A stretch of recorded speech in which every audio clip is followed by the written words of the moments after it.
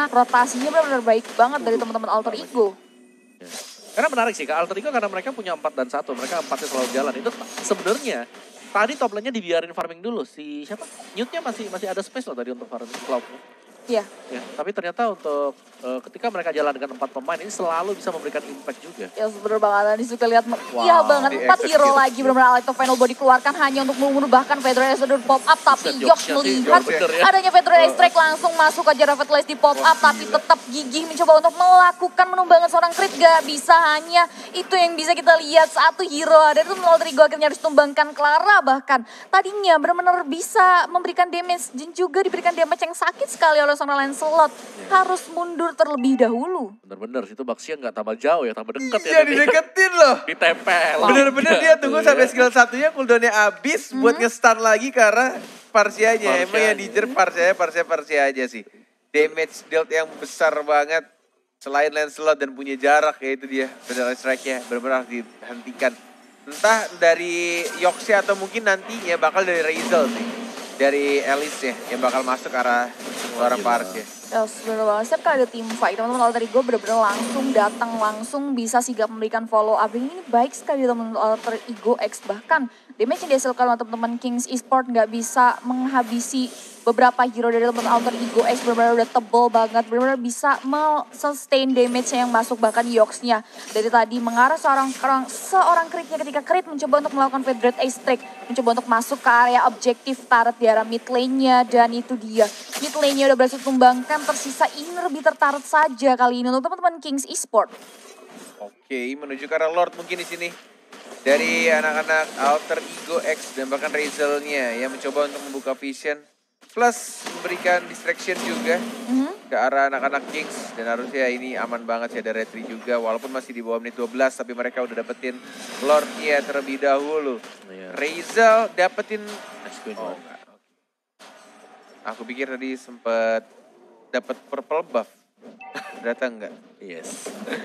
Tapi ya dari dari alter egonya sih bener-bener ya mereka udah dapetin semuanya. Tadi aku kira kayak Dapat ternyata om. dapat ya dia ya? Abis tuh berarti. Iya gak sih? Tuh, dia ngambil purple buff-nya si anak AE. Si Clara. Iya, berarti pakai. Tapi udah habis tadi 15 detik. Oh, Oke. Kayak pas banget pas masuk ke kamera dia. Dan dikasih ke arah Alice-nya. Oke. Dua-duanya dapat Oke. berarti ya. Suaranya seger. Seger tuh. Tuh kan ada purple sekarang diambil. Mhm. Dan Lord-nya udah mulai berjalan di ada top lane-nya. Di situ udah ada Monster juga mengarah ke orang Razel-nya. Tapi Razel-nya benar-benar tebal banget. Masih bisa sustain. Udah Bahkan. Yox-nya benar-benar masuk. Benar-benar menggagalkan Pedro Ace di kalau seorang crit. Bahkan. Lord-nya udah mulai masuk. Alto. Final Body dikeluarkan hanya Nah. untuk mencoba untuk memutus pergerakan dari teman Alter Ego. Tapi sayang sekali harus ditumbangkan di sini Lord-nya. Udah mulai masuk ke arah base lane dari teman Alter Ego. Triple kill bahkan. Minion berhasil diamankan. Dan itu Savage. dia crit-nya. Akan dapat Savage. Di situ kita lihat Clara Savage. unstoppable dan ternyata di steal dan ini dia game yang ketiga Alter Ego X berhasil mengamankan poin kemenangan di game kali ini.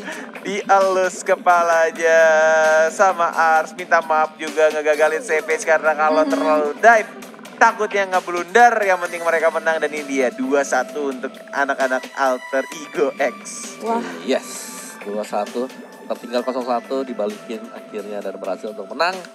Match tersebut ini membuat posisi dari Kings Esport semakin terpuruk lagi nanti kelas Iya nih, agak agak-agak deg-deg ser ya bisa disusul sama Bikiton Bravo juga mungkin. Betul, Bigator Bravo yang paling dekat dengan mereka. Ya, paling deket kan bisa jadi ya. Walaupun sebenarnya sudah posisi aman di 10 tapi ya balik lagi. Alter Ego yang justru malah nambah poinnya kan semakin dekat juga kalau misalkan mereka pengen dapetin top 2. mhm. Benar Dan oke ini baru match yang pertama luar biasa sudah disajikan dengan tiga game. Dengan kemeriahan-kemeriahan yang Kemeriahan-kemeriahan yang di terjadi. Lane of Down. Eh, iya benar banget. Itu kalau bisa kayak pakai konfeti semua di tas-tas. Aduh ya Allah. Alter Ego banyak rusuh banget sih. Rusuh banget sih di game Rusuh ketiga. banget. Dia, dia berempat loh terus-terusan. Gue jadi kangen ulang tahun di meriahin kayak gitu. Meriah. Kamu masih gak ngerasain gak? Enggak.